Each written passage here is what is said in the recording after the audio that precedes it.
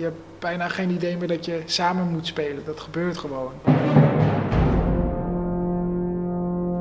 Ik ben Arthur Jussen En ik ben Lucas Jussen. en wij spelen piano.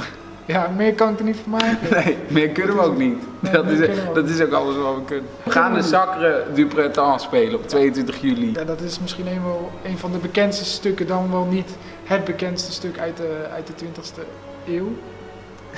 Het gaat over een lenteoffer en het is een ontzettend onheilspellend stuk. Eh, We laten ons heel erg inspireren ook door de orkestversie. Omdat je ehm, eh, de verschillende nuances en de ver- verschillende timbres van de, van de Zo. instrumenten, die wil je toch ook als pianist eh, laten horen. Het is kleiner, want wij kunnen nooit het geluid van een orkest ervaren.